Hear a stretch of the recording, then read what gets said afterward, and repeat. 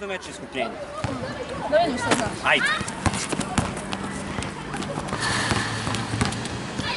Aldina, ajde požuri. Aldina, hajde se kasnit ćemo na čas. Ćao.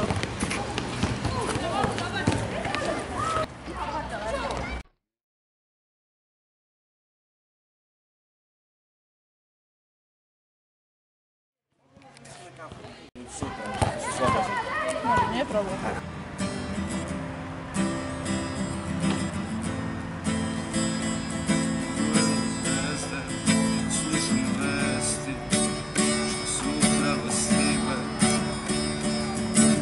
Si?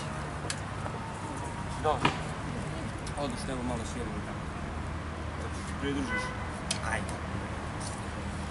Prijatelj, ja sedim u kupi, gledam zvijezde Slušam vesti što su upravo stigle Kažu da imamo još samo par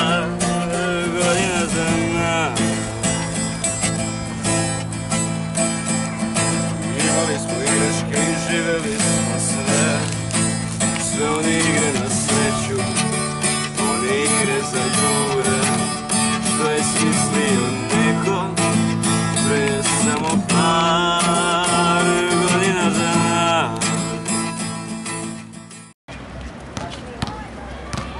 Šta ima? Gdje si burac? Evo, ti? Kakav si? Odlično. Vidim igraš košarku. Ja, Sa Aldinom? Kako ide? pa dobro je, ali... Jesi je pozvao da izađeš? Je, mogu. Jel. Dina? Jel Dina?